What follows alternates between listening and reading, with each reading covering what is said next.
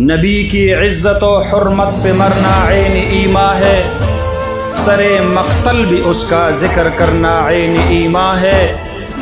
डराता है मुझे दारो रसन से क्या ए नादा। नबी की इश्क में सोली पिचड़ना ऐन ईमा है।